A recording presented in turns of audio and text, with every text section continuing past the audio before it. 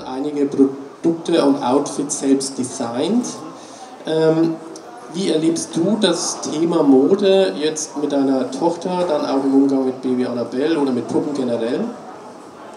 Ja, also Sophia ist so zweieinhalb, wie gesagt, und die ist schon jemand, der jetzt auch modisch den Ton angibt langsam, also auch ihrem Papa die Kleider rauslegt und auch für die Baby Annabelle Sachen rauslegt. Also da bestimmt sie schon selbst, wer der Chef ist. Okay. Und ähm, klar, ich meine, ich kann es ihr nicht verübeln, weil sie kriegt es natürlich mit, wie ja. ich mir die Sachen zurechtlege, was ich so anziehe und Mama liebt ja auch Kleider und so. Also sie übernimmt es schon, da muss man schon aufpassen, dass man nicht den eigenen Spiegel so vorgehalten bekommt. ja, sehr schön. Ja.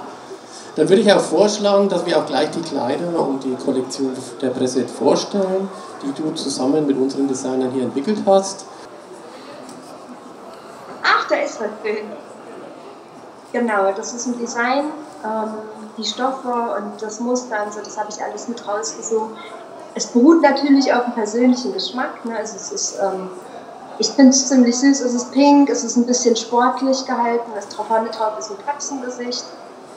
Vorne auf, auf der Mütze oben sind die kleinen Öhrchen zu sehen. Und ich finde halt die Kombi rosa und grau unheimlich toll.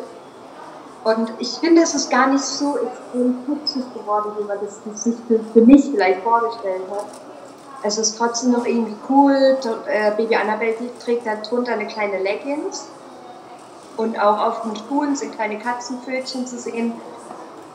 Ja, und ähm, ich finde es wahnsinnig schön. Also ich hätte mein Kind auch so angezogen.